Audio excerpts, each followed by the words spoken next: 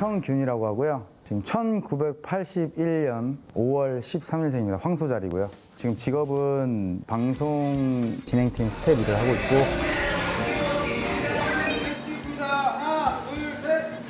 일단 처음 했던 일은 유도를 했고 네, 그거 우리 친구 성균이가 소개팅을 나갑니다.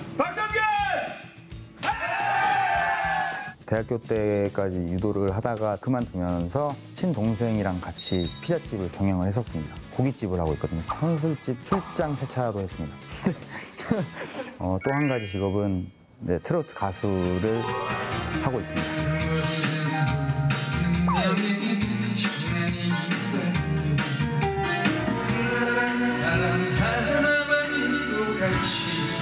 어, 어렸을 적부터 꿈이 이제 가수였는데 더 이상 나이를 먹을수록 이제 아예 못할 것 같아서 네, 꿈을 갖고 싶어서 시작하게 됐습니다. 아 그래서 아니 근데 저 키우던 오골개는 집에 놓고 가는 거 아니에요? 아아 그래요? 골개는 아니 너무 오랜만에 봐서 포인트잖아요. 바람개가 살아있는 건줄 알았어. 과하다고. 애착 포사지예요? 준비를 많이 했어. 그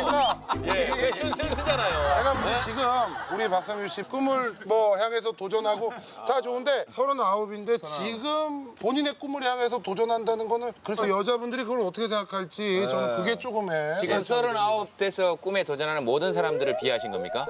서른아홉에는 꿈을 향해 도전하면 안 되겠습니까? 너는 그런 거 좋아하더라.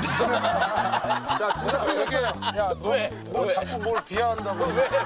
여자분들이 어떻게 생각하는지 궁금하다라고 그랬지. 봐요. 60에도 도전할 수 있고 도전은 나이가 상관없습니다. 네네. 저도 저도 그렇게 생각합니다. 하지만 우리 박성균 씨는 이제 그거를 서른아홉에 도전을 한다니까 내가 뭐라 그런 건데 그게 그렇게 듣기 싫었으면 미안하다. 아니 안정환 위원과는 어떤 관계입니까? 제 매니저의 친형이에요. 그래서 거의 가족 같은 사이고 우리 매니저가 좀 있으면 먼저 결혼합니다. 그러니까 형 입장에서 약간 좀 급할 수도 있죠. 일단 제가 주위에서 봤거든요. 네. 축구팀에서 나가서 그렇죠. 운동하는 거 보고 어, 저랑 같은 축구팀에 아, 축구팀이에요? 예, 예, 축구 동호회. 이 사람 사람 냄새하고 진정성이 있다. 제가 보증합니다. 예, 요 정도로 진짜 약간 좀 과열되고